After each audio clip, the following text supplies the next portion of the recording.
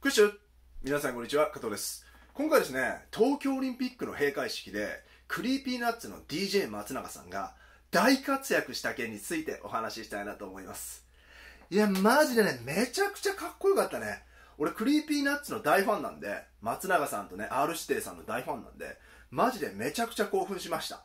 ていうよりもね、日本のヒップホップ、ね、DJ、ね、アメリカ超えたでしょ。だってアメリカのさ、ヒップホップの DJ なんてさ、オリンピックなんて出れないでしょ。そんなレベルなの。日本のヒップホップのレベルの方が高いのよ、アメリカより。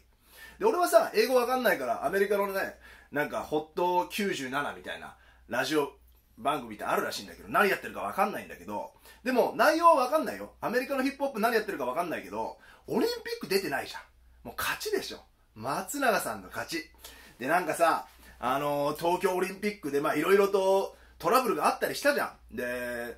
開催中にさ、感染爆発が起きて、東京の医療が崩壊したりしたけど、松永さんに関係ねえから。ねあの、まあ、スカパラとかの件もそうだけどさ、全く関係ないことをさ、あたかも本人の責任みたいに言ってる奴ら、マジで気持ち悪いんだよ、バカ野郎。なとにかく松永さんの邪魔すんじゃねえ。な、 Creepy Nuts、R 指定の邪魔すんじゃねえよ、バカ野郎。これがリアルなヒップホップなんだよ、バカ野郎。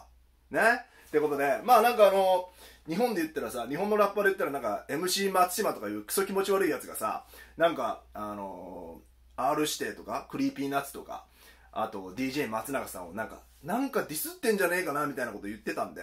ぜひね、 Creepy Nuts のファンの皆さんは、あの、MC 松島のね、ツイッターにあのディスコメント書いてほしいなと思います。はい、今回以上です。クッシュ